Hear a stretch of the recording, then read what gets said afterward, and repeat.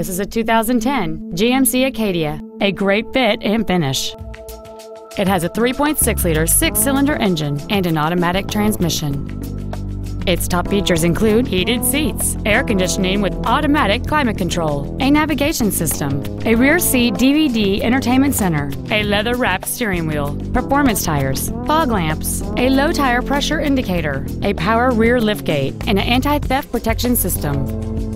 This automobile won't last long at this price. Call and arrange a test drive now.